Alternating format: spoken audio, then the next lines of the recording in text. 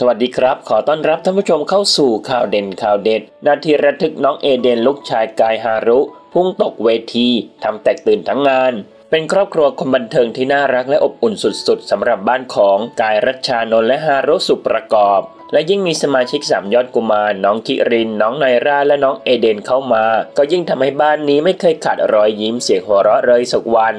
ล่าสุดคุณแม่ฮารุได้เผยคลิปชวนกรี๊ดเมื่อพาลูกๆไปออกอีเวนต์ด้วยกัน ซึ่งตอนหนึ่งน้องเอเดนหรือเสียเดน ลูกชายคนเล็กระหว่างกระโดดรถเต้น ดันเสียหลักพุ่งลงจากเวทีทำเอาพิธีกรเห็นแล้วยังคว้าไว้ไม่ทัน แขกกรีดด้านงาน แต่ก็ต้องปรบมือชื่นชมสปิริตเสียเดนจริง ๆ เพราะนอกจากจะไม่ร้องไห้งอแงแล้ว ยังปีนขึ้นเวทีกลับมาสนุกได้เหมือนเดิม เหมือนไม่มีอะไรเกิดขึ้น ขณะที่คุณแม่ฮารุยังได้ระบุท้ายคลิปว่า